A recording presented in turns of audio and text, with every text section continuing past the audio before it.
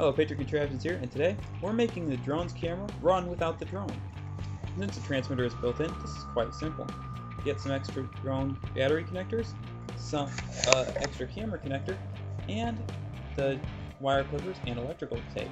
After that, we need to clip off one of the battery connectors from our extra charging set connectors, and tape off the end so we can still use these other connectors for charging batteries. Next off, we're going to locate the camera cord of the drone's camera. Only do this if you have an extra cord like this. Remove it from the camera and clip it in half, setting the other piece aside if you ever need it for a future project. Then, using the side of the camera cable that has only three plugs, locate the black and red wire. You're going to want to connect this to the corresponding black and red wire on the drone battery hookup. As shown here, I've taped them together making our finished connector to run the camera offline. All I have to do is plug it into the battery on one end and the camera on the other, and you should have a working Wi-Fi camera.